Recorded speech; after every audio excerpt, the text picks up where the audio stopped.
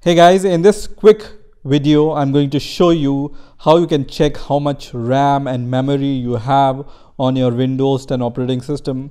In addition, I'm also going to show you how you can check the software and hardware specification on your Windows 10 operating system. And also I'm going to show you how you can check uh, the memory usage on your Windows operating system. So let's get started. So first of all, what you can do is you can click on your Windows icon and then click on the settings. And then here, just click on the system option here. So just click on system and then scroll down and then click on the about section.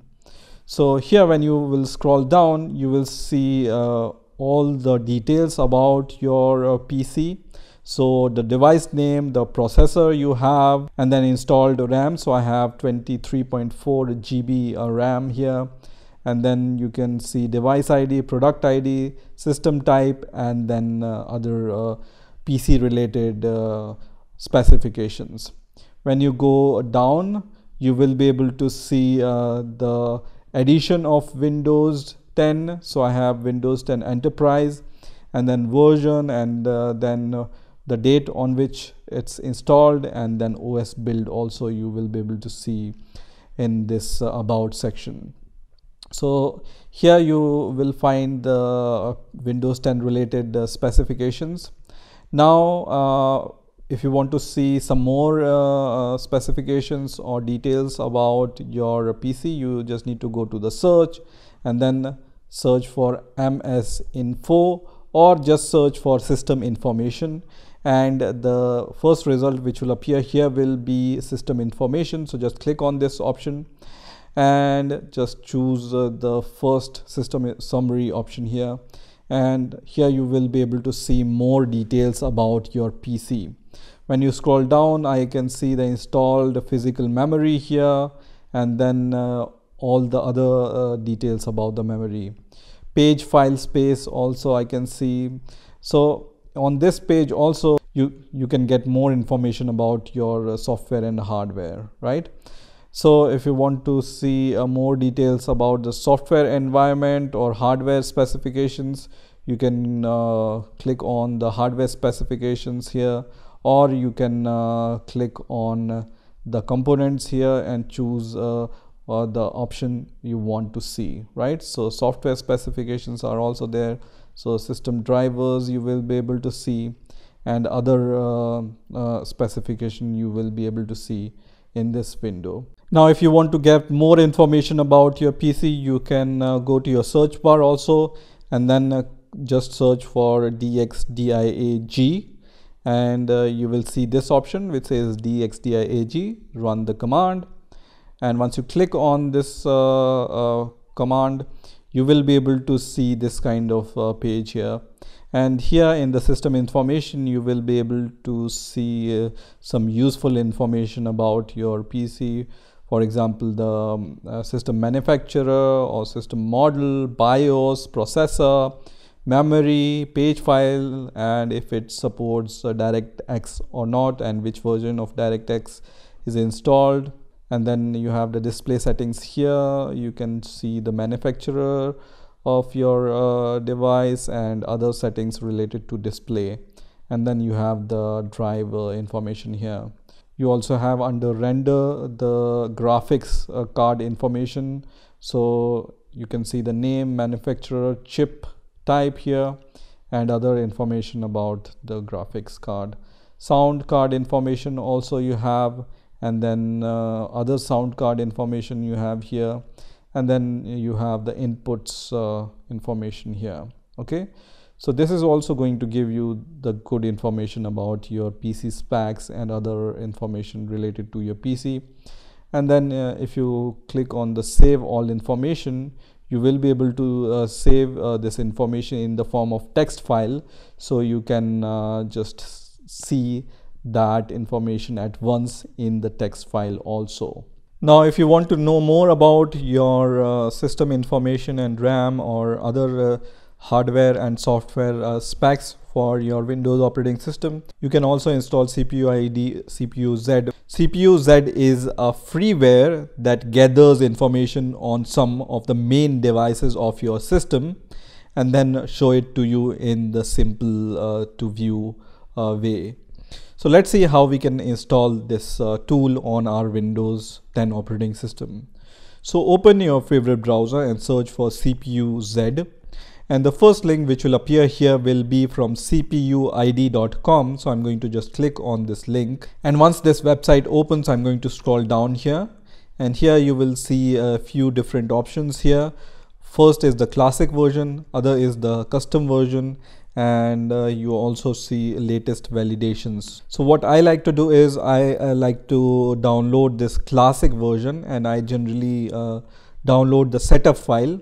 But if you want to uh, use it uh, for only for once or twice then you can also use this zip file also.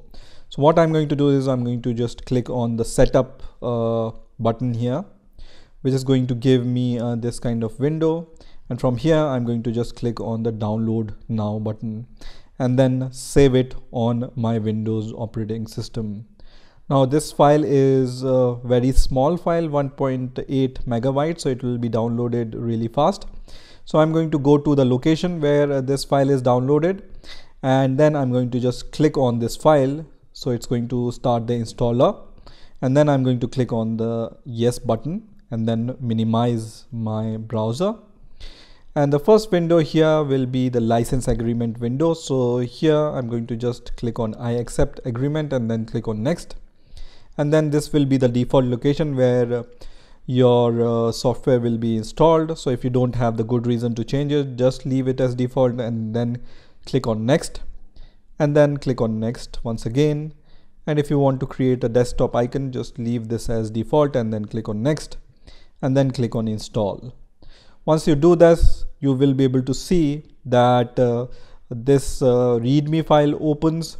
If you want to read this file then uh, you can read it. And then you will also see that this desktop icon is created for CPU ID CPU Z software. So I'm going to just click on this uh, software icon and then uh, click on yes which is going to open uh, this CPU ID CPU Z software. Now here once your uh, software opens you will be able to see uh, different uh, tabs here. First is the CPU tab. And here you will be able to see which uh, processor you have. And then you will be able to see code name package technology and other uh, information related to your CPU also you can see the cache options here and then you have the main board options. So you will be able to see the manufacturer of your motherboard and other information related to motherboard. You have the memory options. So i have around 23 uh, gb memory here which i see. And then i have this spd which is the S advanced option. And then i have this graphics option and then the bench and about option now, if you want to see more uh, details about the usage of CPU or memory on your Windows 10 operating system, then just, just right click on your taskbar. So not here, but on your taskbar, just right click and then choose this option which says task manager. And it's going to open this kind of uh, task manager. And uh, if you see here, you can uh, see more details option so if you don't uh, see uh, uh, more details here just click on this option which says more details and you will be able to see more details about uh, your PC and whatever task which are running on your Windows operating system. So right now I have Microsoft Edge running and task manager running. And if I go to the performance here I can see how much CPU uh, is consumed and how much memory is consumed out of uh, the memory I have and then the disk also and the ethernet information also I can see here. Also in this window I can see the app history startup uh, programs which are enabled at the time of startup of your uh, Windows 10 PC so if you want to disable them you can disable them from here users i only have one user but uh, if you have more users then you will be able to see the details about the users how much memory they are taking and then uh, in the details you will be able to see more details about uh, which process is taking how much memory and how much CPUs. You can also sort uh, uh, the CPU usage in ascending or descending order and memory usage in ascending and descending order. If you just want to see the broader picture then you can just see it in the process view okay? Here also you can uh, you know uh, order them into the amount of memory they are using in the ascending or descending order. Here also you can uh, see I can uh, just sort this memory in ascending and descending order. So this is how you can check your uh, RAM and system information on your Windows 10 operating system. I hope you enjoyed this video and I will see you in the next video